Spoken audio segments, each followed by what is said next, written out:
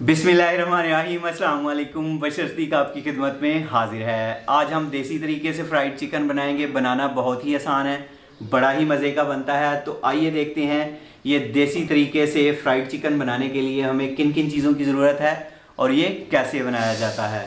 बिस्मिल्लाहिर्रहमानिर्रहीम तो चिकन को कट लगा लेंगे। तो जो बड़े पीस हैं, उन्हें कट लगा लेने हैं।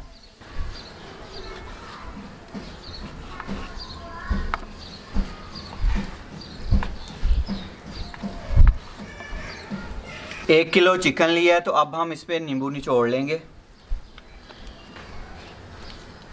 तीन दरमियाने साइज़ के नींबू जो है, वो निचोड़ेंगे।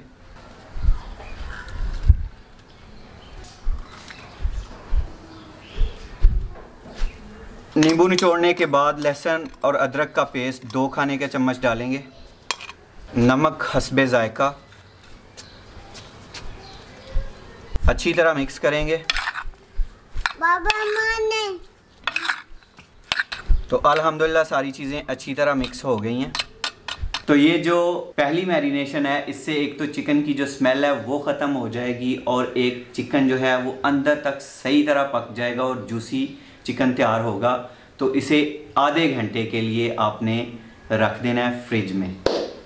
तो अल्हम्दुलिल्लाह अल्हम्दुलिल्लाह चिकन को मैरिनेट किए हुए आधा घंटा हो गया है। तो अब दूसरे मसाले जो है वो चिकन को लगा लेंगे। तो ये घर का दही है। पानी दही में बिल्कुल नहीं होना चाहिए। तीन खाने के चम्मच जो है ना भर के वो दही लगाएँगे। एक खाने का चम्मच धनिया पाउडर। आधा टीस्पून जो है वो काली मिर्च। आधा टीस्पून पिसा हुआ गरम मसाला। आधा टीस्पून चाट मसाला। आधा टीस्पून ज़ीरा, एक खाने का चम्मच कश्मीरी लाल मिर्च डालेंगे। इससे रंग जो है वो बड़ा ज़बरदस्त आएगा। कश्मीरी लाल मिर्च जो है, ये ज़्यादा तीखी नहीं होती है। एक टीस्पून लाल मिर्च पाउडर डालेंगे। तो अब हम अच्छी तरह मिक्स करेंगे।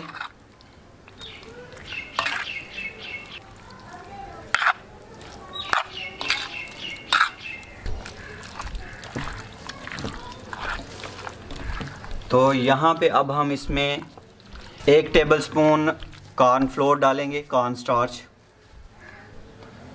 तो तीन टेबलस्पून जो है वो बेसन डालेंगे।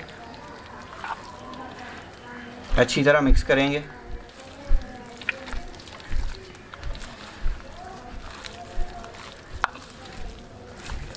नमक जो है वो इसलिए नहीं डाला क्योंकि नमक पहले डाल दिया था तो अब ज़रूरत नहीं है, वो बिल्कुल पूरा नमक।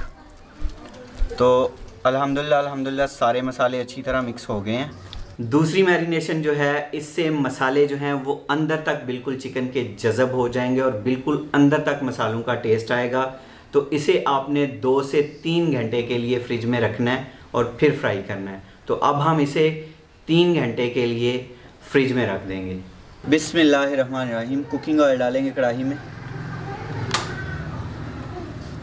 अल्हम्दुलिल्लाह अल्हम्दुलिल्लाह कुकिंग ऑयल जो है गर्म हो चुका है। अच्छी तरह गर्म होना चाहिए कुकिंग ऑयल तो अब हम चिकन जो है वो इसमें डाल देंगे। और अच्छी तरह फ्राई कर लेंगे। तो यहाँ पे चिकन को बड़ी ही अच्छी तरह पलटते हुए फ्राई कर लेना है, ताकि सारी साइडों से एक जैसा जो है वो चिकन फ्राई हो। और शुरू में आग जो है वो तेज़ रखनी है और बाद में दरमियानी कर लेनी है आग।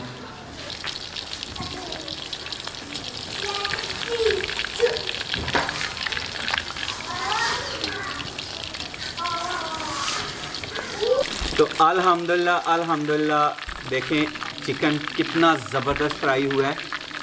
अल्हम्दुलिल्लाह अल्हम्दुलिल्लाह तो चिकन जो है ना, ये देखें, हड्डियों को छोड़ गया तो ये फ्राई होने की निशानी है, अच्छी तरह फ्राई हो गया। तो अब हम इसे निकाल लेंगे। बिस्मिल्लाह।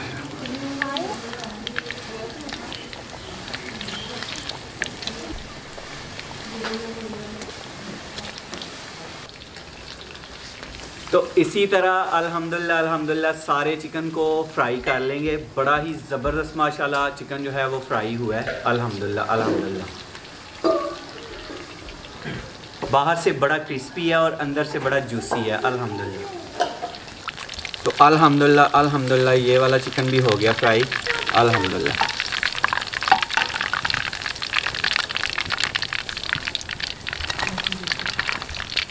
बिस्मिल्लाहिर्रहमानिर्रहीम।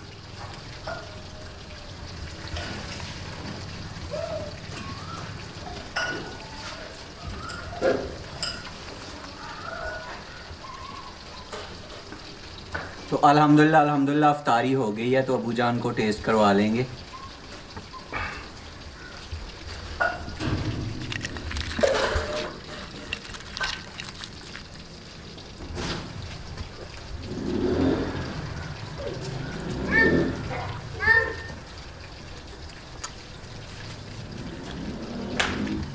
हाँ जी अबू जी।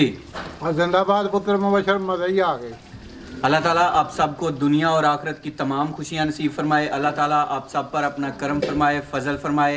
अल्लाह ताला आप सबको अपनी रहमतों के साय में रखे। बहुत सारी दुआओं के साथ मुबशर सदीक को दीजिए इजाज़त। अपना बहुत सारा ख्याल रखिएगा दुआओं में याद रखिएगा। अल्लाह हाफिज़।